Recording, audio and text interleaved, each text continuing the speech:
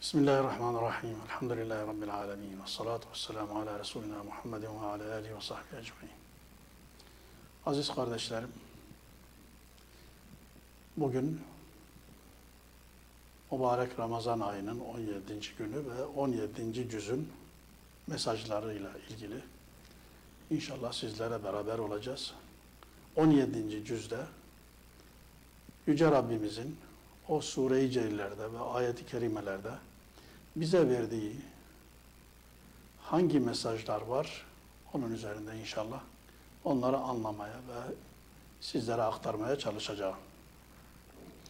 17. cüzde iki sure-i celile var. Birincisi Enbiya suresi, diğeri de Hac suresi. Yani bu cüzde iki suremiz var. Tabi adlarından da anlaşılacağı gibi Enbiya suresi peygamberler suresi demektir. Hani Enbiya Nebi'nin çoğuludur. Genelde peygamber kıssalarını ihtiva eden, peygamberlerin kavimleriyle olan mücadelelerini ve onları nasıl imana davet ettikleri, peygamberlerin ümmetlerinin ve kavimlerinin bu davet karşısında nasıl bir tavır takındıklarına dair örnekler veriyor bu sure-i celilede. Bazı peygamberlerin kıssalarını zikretmek suretiyle ve onların yaptıkları davet ve kavimlerinin onlara karşı takındıkları tavır bu sure-i celilede Enbiya suresinde zikrediliyor. Hac suresinde de zaten hac menasiki Bunlarla ilgili ağırlıklı olmak üzere hacla ilgili, kurbanla ilgili e, hükümler yer alıyor. Onunla ilgili mesajlar e, var. E, bunların üzerinde inşallah durmaya çalışacağız. Enbiya suresi şöyle başlıyor. Bismillahirrahmanirrahim. İqtarabe linnâsi hisâbuhum ve hum fî gafletin mu'ridûn. İnsanların hesap günleri yaklaştı. Fakat onlar bir gaflet içerisinde yüz çevirirler. Burada kıyamet gününün ve hesap gününün yaklaştığından bahsediliyor. Yani muhakkak Allahu Teala'nın vaat ettiği o kıyamet kopacak, hesap günü e, gelecek ve herkes yaptıklarından hesaba çekilecektir. Bununla başlıyor. İşte o hesap gününde peygamberlerin kavimlerinin nasıl bir tavır takındıkları konusunda da hesap verecekler. Tabi ilk önce Yüce Rabbimiz Sure-i Ceylan'ın başında hesap gününün yaklaştığını haber veriyor ve bizlere peygamberlerin nasıl icabet gördükleri, kavimleri tarafından nasıl karşılandıkları konusunda onlar da hesap verecek. Çünkü peygamberler yine Kur'an-ı Kerim'in başka yerlerinde de ümmetlerine, kavimlerine bir şahittir aynı zamanda. Hesap gününde şahitlik yapacaklar. Allahu Teala onlara soracak. Ey peygamberler, nasıl karşılandınız? Davetinize karşı kavimleriniz nasıl icabet etti veya nasıl bir tavır takındı? Peygamberler bu konuda şahitlik yapacaklardır. İşte bu sure-i Ceyle'de buna işaret var. Yani hesap günü yaklaşıyor. Onun için fakat insanlar gaflet içerisindeler. Ama bir gün gelecek o hesap gününde peygamberlere karşı nasıl bir tavır takındıkları, nasıl hareket ettikleri konusunda hesap verecekler. Yine bu sure-i Celle'de Allah'ın dostlarından bahsediliyor. Tabi peygamberler ve onlara inananlar Allahu Teala'nın dostlarıdır, sevdikleridir. Başka yerlerde de Yüce Rabbimiz Allahu veliyyullezine amenu. Allahu Teala iman edenlerin dostudur, velisidir. Buyuruyor. İşte Allahu Teala'nın dostları, sevdiği insanlar Allah katında ayrı bir değeri var. Onları karşı, onlara karşı takılan tavır önemlidir. İnsanların bunları memnun mu ettiler, yoksa davetlerine icabet mi ettiler, yoksa üzdüler mi, ee, ters bir tepki mi gösterdiler, nasıl hareket ettikleri konusunda hesap verecekler. Bu sure-i cellede Yüce Rabbimiz örnekler zikrediyor peygamberler kıssalarından. Bu kıssalar Hazreti İbrahim Aleyhisselam'ın kıssası. Ondan bahsediliyor. Hazreti Lut, Hazreti Nuh ve Hazreti Eyüp Aleyhisselam'ın kıssaları bunlardan bir örnek, birer örnek. İşte bunlara karşı, bu peygamberlerin davetlerine karşı kavimlerinin takındıkları tavır zikrediliyor. Ayrıca onlardan sonraki durumlar da yani peygamberlerinden sonraki durumları da zikrediliyor. Yani peygamberlerinden sonra nasıl hareket ettikleri, o peygamber aleyhissalatü vesselamların çizgisinden nasıl saptıkları, nasıl dalalete düştükleri konusunda da e, bize mesajlar veriliyor. E, demek ki hepsi bir kısmı davete icabet etmiş, bir kısmı icabet etmemiş. İcabet etmeyenlerin de cezalandırmalarından da bahsediliyor. Yani Allahu Teala'nın nasıl peygamberlerini kurtardığını, koruduğunu ve onlara icabet etmeyen, eziyet etmek isteyen kavimlerine nasıl bir ceza verdiğini zikrediyor bu Sure-i Celle'de. Ayrıca kainatta yaratılanlar hepsi bir hikmete binaen, ilahi bir hikmete binaen yaratılmışlardır. Hiçbir şey boşuna yaratılmış değildir. Bu Sure-i Celle'de verilen mesajlardan birisi de bu. Aynı zamanda tevhid inancı zikrediyor. Yani peygamberlerin tebliğ ettikleri tevhid inancı zikrediliyor. Yine insanın şan ve şerefinin, değerinin Allahu Teala'ya yapılan davet karşısındaki durumuyla değer kazandığı ifade ediyor. Peygamberlere icabet eden de etmeyen arasındaki fark zikrediliyor. İnsanın Allah katında ki şerefi, değeri aynı zamanda insan olarak değer kazanması yine Allahu Teala'nın peygamberleri aracılığıyla bildirdiği o sonsuz ilahi davete ne kadar icabet ettiğiyle bağlıdır.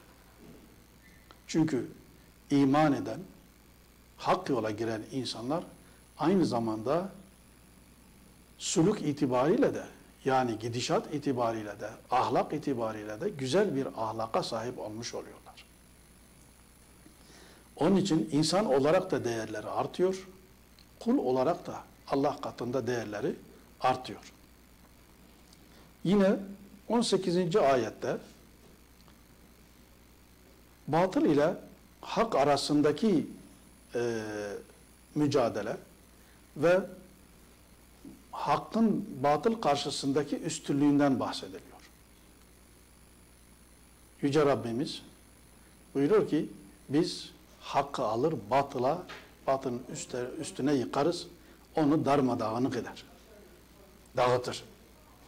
İşte e, hak karşısında batılın yok olmak mahkumiyeti var. Başka bir ayeti kerimede kul ca'al hak ve zehaqal batil. De ki ey peygamber hak geldi, batıl zahil oldu. Yani hakkın karşısında batıl yok olmaya mahkumdur. Yıkılmaya mahkumdur. Er veya geç yıkılacak. Bu sure-i Celle'de işte buna da, bu mesaj da veriliyor. Aynı zamanda e, kevni ayetler de zikrediliyor bu ayeti kerimede. Allahu Teala'nın kainatta yarattığı ve biz insanlar için ibret ve ders verici niteliğinde olan o kevni ayetlere de e, dikkat çekiliyor.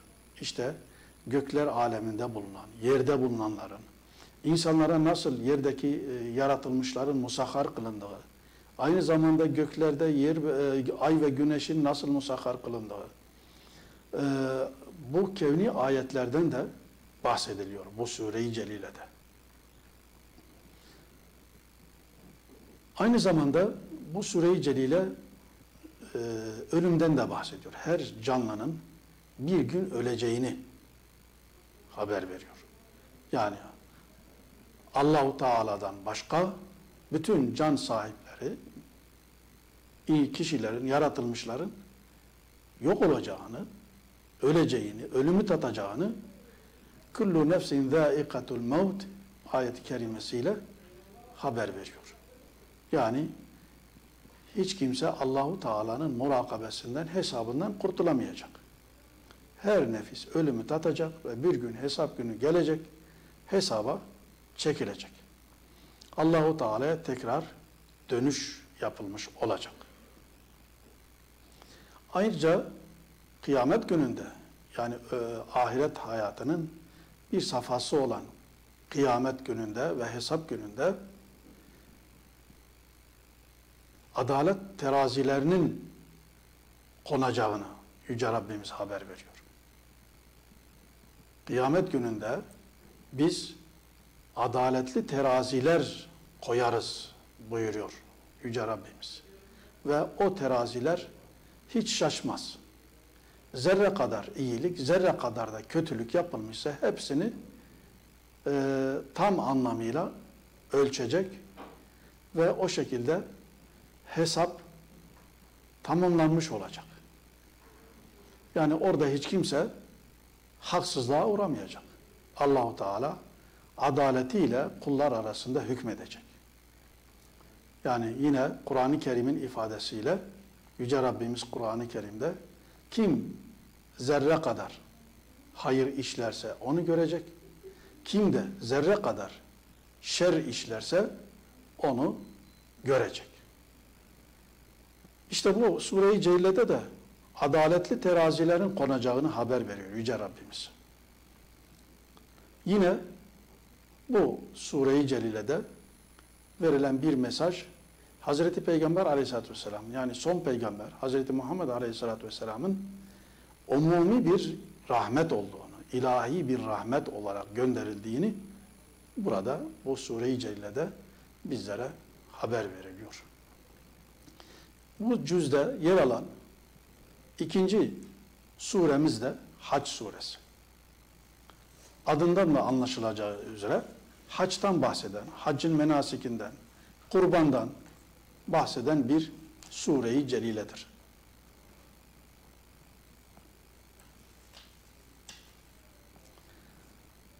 Fakat bu sureyi celilede gene Sure-i Celle'ye başlanırken yine kıyamet gününe dikkat çekiliyor. Yani kıyamet gününe dikkat çekilerek başlıyor. Ya eyyuhen nasu taqu rabbakum inne zelzelete saati şey'un azim. Ey insanlar Rabbinize karşı gelmekten sakının. Çünkü o kıyametin kopma anındaki o sarsılma, yer sarsıntısı çok şiddetli olacaktır. Onun o günün dehşetini anlatan müteakip ayeti kerimelerde Yüce Rabbimiz buyurur ki يَوْمَ تَرَوْنَهَا تَذْهَلُ كُلُّ مُرْدَعَةٍ عَمَّا أَرْضَعَتْ O gün süt emziren bir kadın sütten kesildiğini görürsünüz. Yani sütü kesilir. O günün dehşetinden. وَتَضَعُ كُلُّ ذَاتِ حَمْلٍ حَمْلَهَا Hamile olan kadınlar da o günün dehşetinden çocuğunu düşürür. Çocuğunu doğurur. وَتَرَى النَّاسَ سُكَارًا وَمَا هُمْ بِسُكَارًا İnsanları da sarhoş gibi görürsün. O günün dehşetinden sarhoş gibi görürsün. İşte ona dikkat çekiliyor. Ee, Sure-i Celile bu ayeti kerimelerle başlıyor. Aynı zamanda şeytanın saptırmasından bahsediyor o Sure-i Celile'de. Yine bu Sure-i Celile'de insanın yaratılış merhalelerinden, ana karnından tutun ta şeye kadar, ee, ondan sonra yasaklanan hayvanlar ve helal kılınan hayvanlar, kurban kesme, kendine savaş, kendilerine savaş açılan Müslümanlara cihat izni bu Sure-i Celile'de yer alıyor. Aynı zamanda iman edenlerin neticede cennet, cennetlerinde mukafatlandırılacağı, iman etmeyenlerin de cehennemde azap göreceği, yine Allahu Teala'nın hem insanlardan hem meleklerden elçiler seçtiği ve o şekilde son ayette de cihat konusunda e, ve Hazreti Peygamber Aleyhisselam'ın bizler için şahit olması ve bizlerin de diğer insanlarla ilgili şahit olacağımız konusunda ayet-i kerimeler yer alıyor. Cenab-ı Hak cümlemizi ve cümle ümmeti Muhammed'i Kur'an'ı okuyan, anlayan ve tatbik eden kullarından eylesin. Elhamdülillahi Rabbil Alemin.